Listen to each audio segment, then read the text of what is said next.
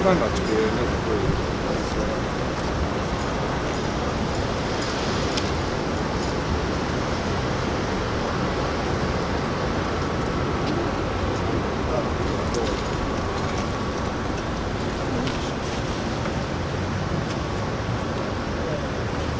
Tri nove linije.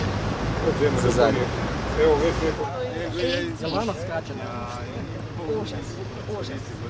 Ja sam došla, pričao sam sa par ljudi, javili su mi se Zvonimir, ovo, napravili sam neki Da, da. i kažu ono, otišli na more, vratili se, ovak vitrina se po sobi. da. Ajde se. Jebe, sad sam se udebljo, jel, idemo u...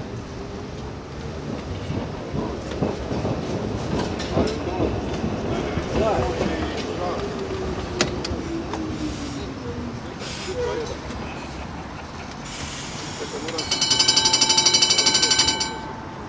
zv- Napravili smo jedan poseban, naravno, segment programa za izbore koji će govoriti o prometnim rješenjima.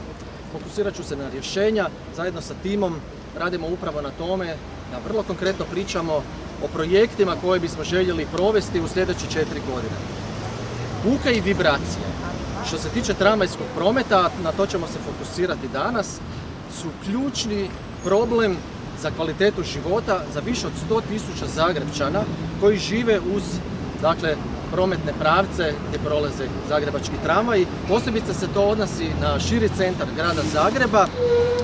Na jednoj smo takvoj lokaciji i ovdje, a ključni su problemi na raskrižju. Iako je grad Zagreb, Milan Bandić u proteklih pet godina potrošio i utrošio više od 200, 200 milijuna kuna na sanaciju tramvajskih pruga, nažalost oni nisu koristili one najmodernije tehnike obnove tih pruga, tako da građani i dalje trpe veliku buku, a i zbog potresa i prije toga naravno, ali posebice poslije potresa imaju veliki problem zbog vibracija. Vibracije koje se prenose kroz tlo od tračnica pa sve do njihovih objekata. Postoje studije sada već o tome i grad Zagreb je naručio jednu takvu upravo u Mikanevićevoj ulici su radili test gdje pruga prolazi samo 5 metara od objekata koji se tamo nalaze. I tu je ključan problem upravo u sanaciji.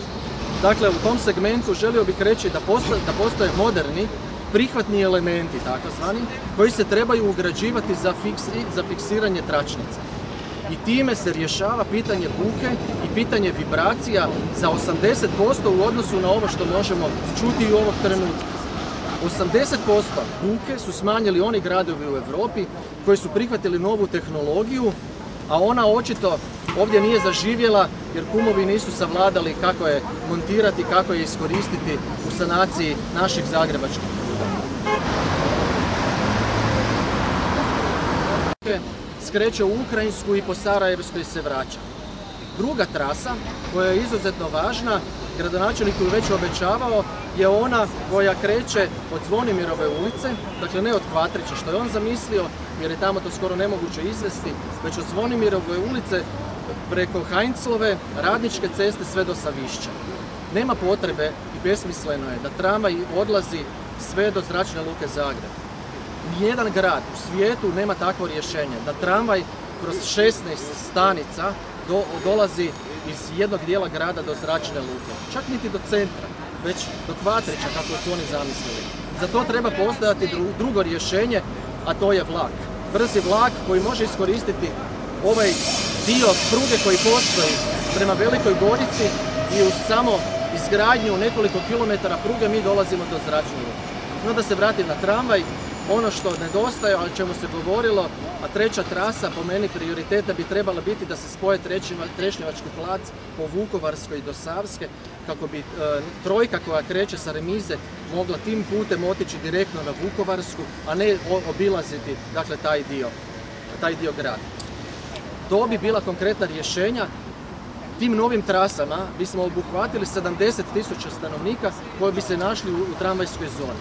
I smatram da je to kvalitetan doprinos upravo kvaliteti života, smanjenju prometa u gradu također, a ključno će biti ubrzati javni gradski prijevoz, osigurati da žute linije budu isključivo za ona vozila koja su za njih namijenjena kako bi građani zapravo što manje dolazili u grad, a doći će ukoliko imaju efikasan, ukoliko imaju kvalitetan gradski prijevoz u ovom konkretnom slučaju tramvaja. Jezula Radnička Savić, broj 2. Studenti u njihovim objektima pisali su tisuće primjedbi na ZET, na grade Zagreb, brojne raskrižja, Zvonimirova Šubićeva, u Draškovićevoj, skretanje u Frankopanskoj, pa i ovo raskrižje koje je renovirano 2017. godine, naprosto nije napravljeno na adekvatan način. Utrošeni su milijoni kuna, ponavljam, preko 200 milijuna kuna, nije se išlo sa novom tehnologijom koja bi spriječila buku, koja bi spriječila na minimum vibracije koje tramvaj radi. Još jedan razlog je zašto je tomu tako, jer je ova cijela trasa koja postoji u gradu Zagrebu, Zeta, bila napravljena i predviđena za tramvaj do 20 tona. Mi smo nekada imali do prije 15 godina upravo tramvaje između 15 i 17 tona težine, a ovaj tramvaj, niskopodni tramvaj koji sada vozi od 2006. godine je težak između 35 i 40 tona. Dakle, duplo opterećenje za prugu, Stoga sanacija treba biti adekvatna, trebaju se koristiti najnovije tehnologije i na taj način Zagrebčani će biti zadovoljni kada uplaćuju prirez u gradsku blagajnu, a za uzvrat dobiju adekvatnu brigu od strane gradske uprave i kvalitetniji život.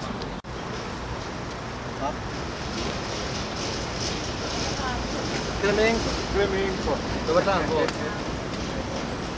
Idemo, ali da se vidim unutra? A onda sprek. Savsku i na Vodnikovu i to je sad jako, jako neugodno. Dobro, kako evo izgleda vaš život? Znači, pretpostavljamo da je konstantno buka od tramba A, kontrola. buka je od pola pet. Jer kak je, kak je tiše, ovaj, onda se čuje još bolje tramvaj. Buka nam je do 12.1, ovaj, jer nisu to samo tramvaj, i ova deca kaj pretrčavaju, kaj, kaj luduju, ali dobro, veze. Ovaj, I tresemo se. Tresemo se u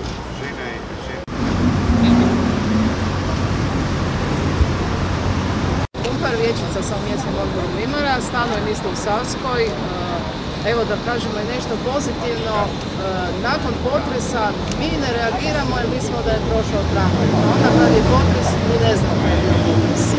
Jednostavno stalno vibrira, e, prozore ne možemo otvarati ako želim gledati televiziju, ne čujem televizor, pa onda moram zatvoriti prozore. Raskršće se obnavljalo, međutim ne znam šta su napravili, obnovili su ga vrlo loše, tramvaj moraju usporavati dalje jer je sve se i veliki problemi smo tražili kao vijeće, smo tako tražili da se pokuša naći način, pogotovo je ključna ova kuća od gospođe koja je govorila, na kojoj su priključci ovi, ja ne znam, mislim se i 16 nabrojila. Dakle, to je u, u fasadi unutra, ta fasada je stara, kuća je stara, to je opasno i za tramvaje, opasno i za zgradu, opasno i za prolaznike, međutim niko nam nikad ništa nije odgovorio da se